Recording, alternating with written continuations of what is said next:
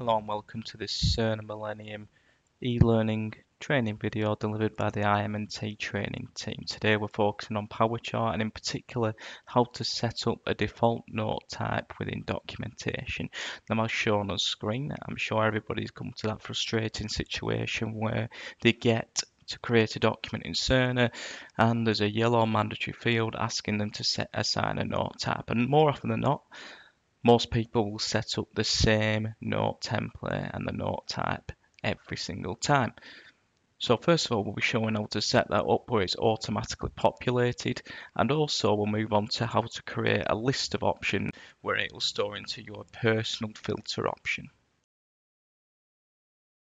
Before beginning, just a quick note. A prerequisite is you will need to be into your patient's record within PowerChart.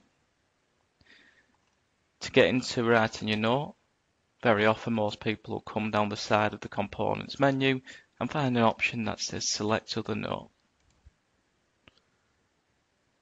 You then put onto the following page and it's from this page that most people are faced with the type mandatory field box here. And as we're already aware type is the folder that this note saves into.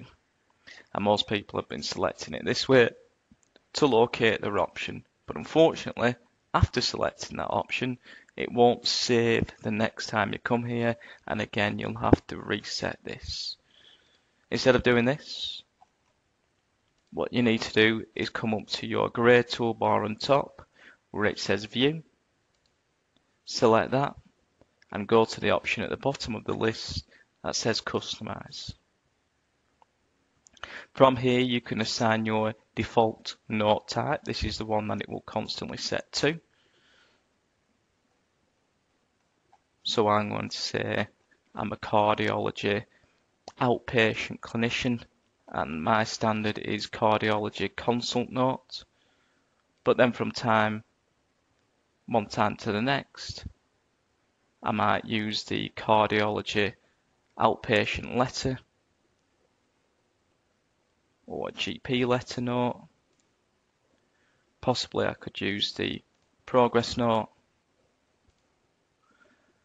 And let's say every now and again I use the phone message option. So I've got three options in there. I'm now going to save that by selecting OK. I'll now close down the patient's record. Research my patient.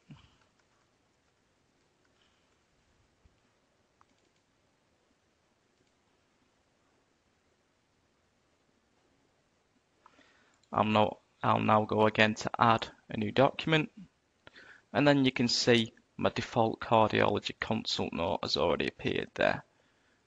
Now to view my list of options from the other note types, I switch this to personal, which it already has done. And if I use the drop down, you'll notice I've got my GP letters, phone message and progress note all saved in there.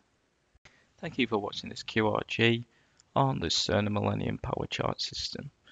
For more videos, please go to the ELHT IM&T Training Team YouTube channel. On there, you'll find playlists relevant to certain job roles and also your kind of ad hoc individual videos.